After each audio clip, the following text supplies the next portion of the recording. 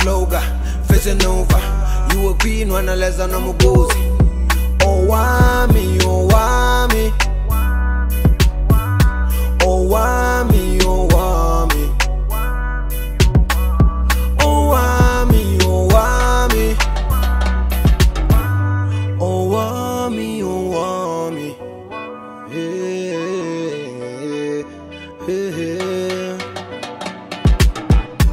You're such a woman. Hi, my ninjas. How are you doing? It's your girl, Ominish Pajolo, aka Miss Fear Focal, bringing back for our entertainment. If it's the first time joining me, you must definitely welcome. Please do make sure that I subscribe and obviously hit the bell. I absolutely love you. And do not forget to follow me on Instagram, TikTok, and Twitter. It's at boldly Owamie.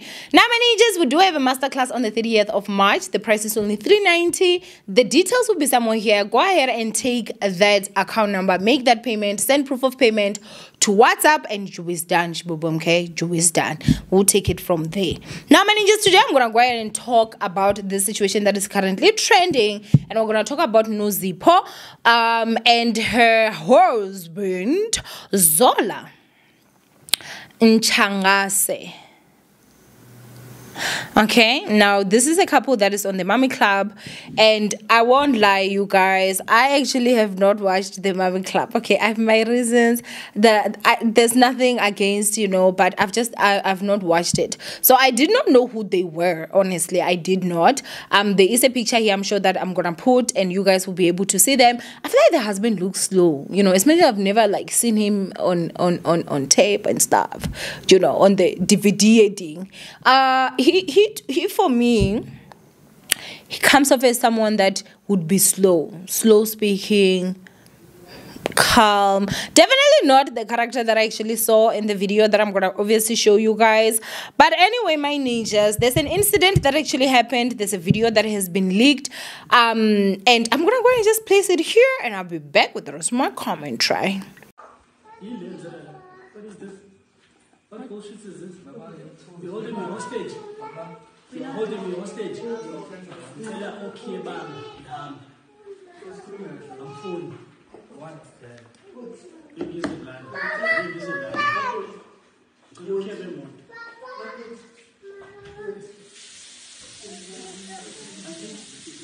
Yabona ngithi ngithi ngiya okay nje ngihambele ngishaya imoto ngihambe. yona into engiyidingayo ngifuna ukukhuluma nami hayi futhi enze inkulumo. Imoto ngiyayidinga ukuhambisa ingane esikoleni. Ngicela ukhile phela kulungilisa imoto-ke angiyangakho ukuthi unayiphi imoto. Mina ibhosi going enje manje ukwenza isilimo. You hold me hostage ikwenza isilima kanjani? Ngifuna imoto ngifuna ukuhamba. Thandana why you shouting? Hold on you shut up. No. Fucking shut up. No. Nami ninjas for me. I ain't even going to lie to you guys. I think that um, I'm gonna go and just address this particular thing. I'm a village girl through and through. I was raised in the village. Um, I do adapt, you know, with you people's. Uh,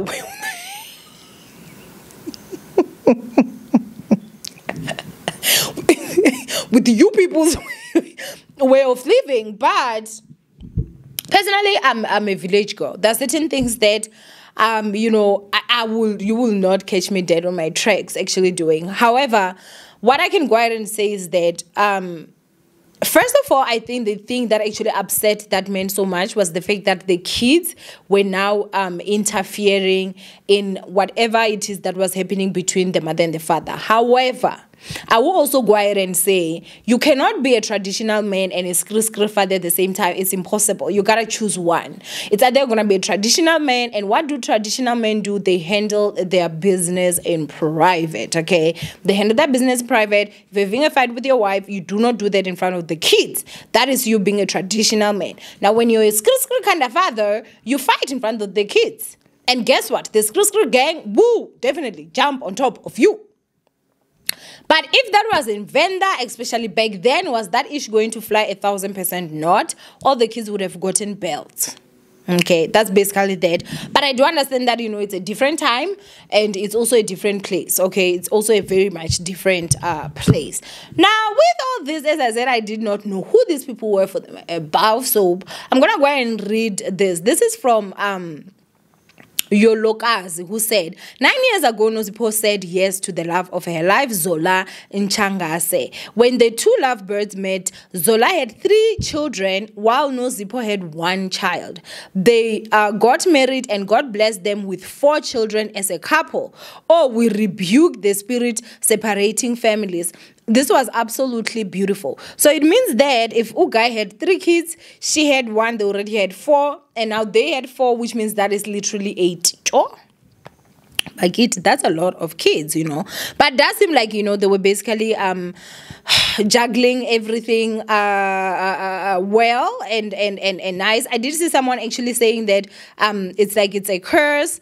Um, I do believe that there's also like the the reality show curse you know. That's why i'm uh, personally you are not going to see my relationship. I don't even want to lie. I know i love you guys so much. I share so much already but when it comes to my relationships i'm just gonna prote- protect that ish to the last call.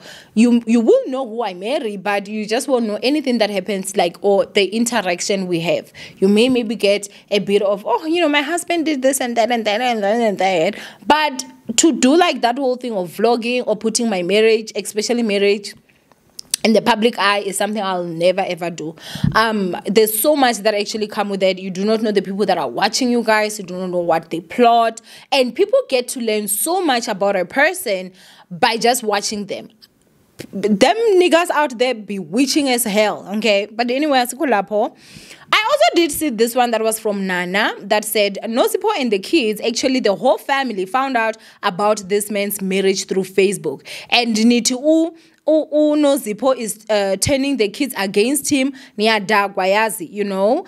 And then um Someone said, "Ungang ungangithengelani." A man who believes his only value in his family is what he can buy them. Uzola is such a big old loser. You, uh, I'm just so sad for Nozipho because she really loves that man and he doesn't even deserve her. Okay. Um, somebody said that love potion is strong. No supposed to just get a divorce. Okay. Somebody said that video, everything in that house is broken. Yazi. From the helper kneeling before him and the kids begging for their dad to listen to them, the toddler saying bye daddy. Oh no Zippo. Anyways, hoping Miso watches this video and takes an informed decision. Okay. Um somebody said I so wish Nozipho would have said, I can't give you the keys, but I'll, I'll I'll call an Uber and a van at the at that cost. No, uh, sorry, ain't no way you're leaving me with the kids that aren't mine. Whilst you go to your second wife, I wish. Okay, uh, so for me, the way that everything is actually coming, the last part that I'm gonna read here, this is from Lady Danbury, who said, You can tell that Nozipho Ntshangase and her husband had fostered an open relationship with their children, hence they felt free to ask for a sit down. Today's training video is quite unfortunate, not to mention contrary to what we witnessed from this video. Now there was a video there where they were sitting with the kids, seems like you know they were just having an open conversation, and Ubaba seems to be happy. Now, if there's anything that I'm gonna go ahead and tell you guys is that as a woman, be very stingy with your womb. Say it again, sing it.